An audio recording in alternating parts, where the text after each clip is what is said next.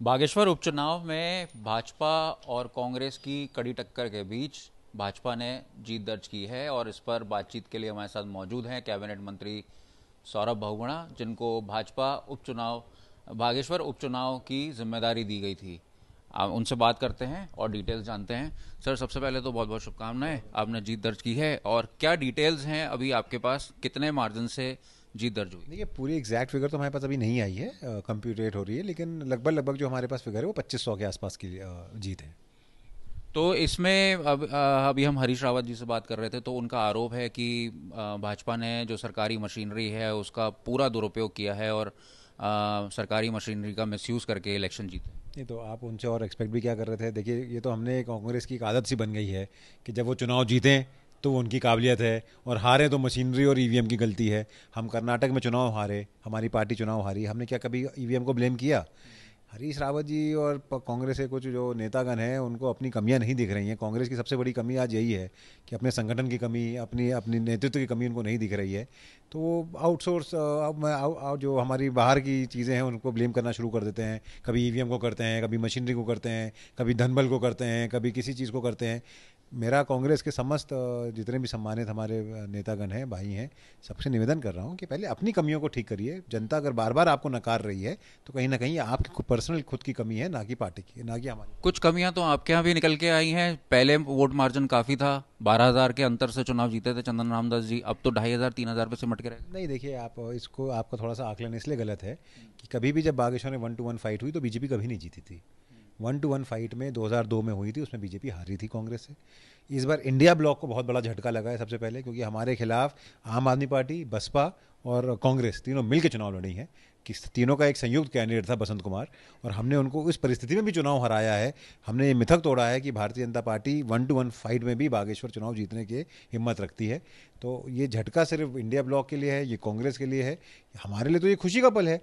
कि सारी सारी ताकत लगने के बाद इंडिया ब्लॉक के सारे वन टू वन के एक मिथक जो था कि कभी भी कांग्रेस नहीं हारी है, वो सब तोड़ते हुए भारतीय जनता पार्टी जीती है और ये 24 का एक रिहर्सल है।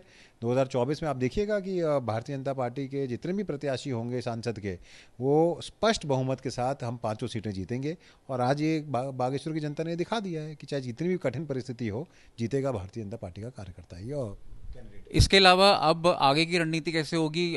चुनाव के नतीजे ऑलमोस्ट घोषित हो चुके हैं और पार्वती दास विजयी कैंडिडेट हैं। तो आगे किस तरह से बागेश्वर का जो एक तो बाईपोल्स में देखा गया है कि जीत दर्ज होती है, उसके बाद कैंडिडेट जो मेन इलेक्शन में कमज़ोर हो जाता है। तो आगे इसको किस तरह से लेके चलते नहीं, देखिए, ये तो तीन साढ़े तीन साल बाद क्या होगा? आज तो कितने प्राथमिकताएँ हमारी जो हैं, वो चंदन रामदास जी के अधूरे सपने जो थे बागेश्वर को लेके, वो पूरा करना है। जो वादा हमारे संगठन के द्वारा, कार्यकर्ताओं के द्वारा, मेरे द्वारा, माननीय मुख्यमंत्री जी के द्वारा, बागेश्वर की जनता को चुनाव में किया गया है, उसको धरातल पर उतारना है। साढ़े तीन साल बाद क्या होगा, वो आज बहुत जल्दी है सोचने की, लेकिन बागेश्वर का विकास हमारी प्राथमिकता है। बागेश्वर को विकास की मुख्य धारा से जोड़ के रखें। मुख्य धारा के साथ वो आगे बढ़े बागेश्वर वो हमारी प्राथमिकता है। और प्रभारी मंत्री के रूप में भी आ, मेरा दायित्व बनता है कि जो वादे हम सबने बागेश्वर की जनता के साथ किए हैं गाँव गाँव में जाके किए हैं उनको जल्द से जल्द पूरा किया जाए ताकि बागेश्वर की जनता को जो विश्वास भारतीय जनता पार्टी के प्रति है वो वैसे के वैसे दृढ़ रहे। इस बार चुनाव में एक चीज़ सामने निकल के आई कि बागेश्वर में जिलाधिकारी के ऊपर आरोप लगे कि उन्होंने मीडिया गैगिंग करने की कोशिश करी है मीडिया पे प्रतिबंध लगाने की कोशिश करी है। इसको लेकर काफ़ी कन्फ्यूज़न रहा। तो मीडिया कहीं ना कहीं जो है वो लोकतांत्रिक ढांचे में जो मीडिया का रोल होता है उसको निभाने में आ, मतलब निभा नहीं पाई। तो इसको लेकर क्या कोई जाँच की जाएगी या आगे से ऐसा नहीं होगा? इसको देख क्या कहते हैं देखिए ये आरोप भी कांग्रेस के द्वारा लगाया गया है। आप, मैं बागेश्वर में 18 दिन रहा हूँ। 18 दिन में जितनी भी प्रेस कवरेज मैंने देखी, चाहे वो हिंदुस्तान पेपर की हो, चाहे वो अमर उजाला की हो, दैनिक जागरण की हो, सारा की हो, वहाँ के लोकल पोर्टल्स की हो, लोकल पेपर्स की हो, हर एक में वसंत कुमार जी और कांग्रेस को उतनी ही स्पेस दी गई जितनी भारतीय जनता पार्टी के कैंडिडेट को मिली। तो कौन सा गैग हुआ? देखिए, मैंने आपको पहले बताया कि भारतीय जनता पार्टी की जीत उनके संगठन की शक्ति की वजह से हुई है। भारतीय जनता पार्टी की जीत माननीय नरेंद्र मोदी जी के नेतृत्व की वजह से हुई है। भारतीय जनता पार्टी की जीत माननीय पुष्कर सिंह धामी जी के किए गए कामों पे और माननीय पुष्कर सिंह धामी जी के ऊपर जो जनता का विश्वास है उसकी वजह से हुई है। और कांग्रेस का लॉस जो हुआ है वो उनकी फेस वैल्यू की वजह से हुआ है और उनके ना कार्यकर्ता ना होने की वजह से संगठन ना होने की वजह से हुआ है।